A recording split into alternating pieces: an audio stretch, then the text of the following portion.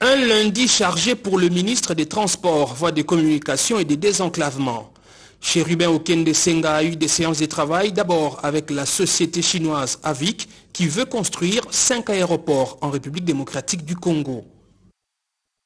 Œuvrant dans la partie est de la RDC, la société Amani Construction a présenté à Chérubin Okende le projet de construction des ports à Kalungu et Kalé dans la province du Sud Kivu. Le désenclavement du pays devra passer par la construction du port en eau profonde des Banana à Mwanda.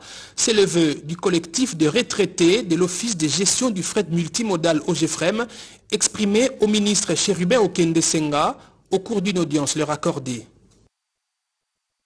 Venu présenter des civilités au ministre des Transports, voies de communication et des désenclavements, le député national et cadre du parti d'opposition PPRD, Yves Kissombe était également porteur d'un message d'encouragement à Chérubin Okende.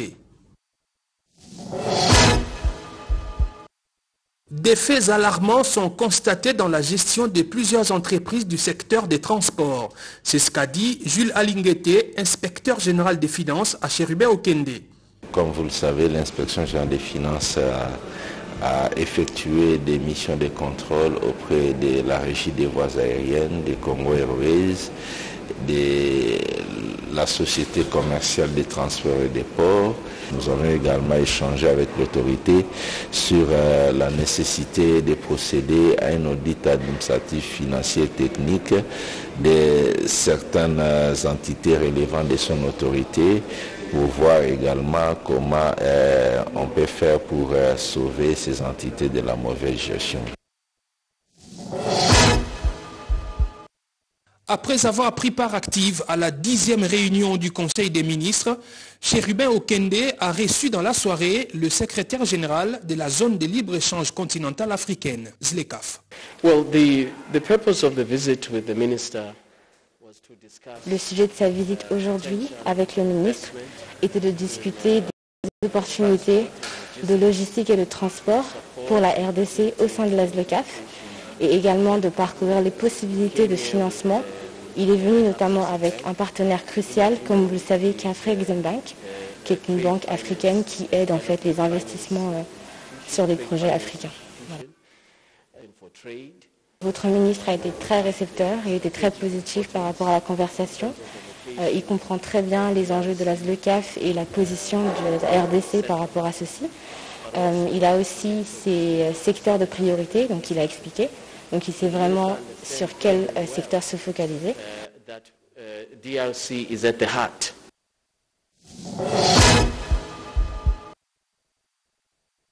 Limete Sokopao appelé communément Pakajuma. C'est sur ces sites spoliés de la Société commerciale des transports et ports Exonatra que le ministre des Transports a clôturé sa semaine de travail. Tolingi moto na moto droit na ye ekoka kotosama. Oyo baoccupe irrégulièrement. Pouvoir ya leta esengeli ekoka koyokana. Oyo bazali na batitre na bango. Bakolakisa yango nde tokotala qui peut occuper et qui ne peut pas occuper.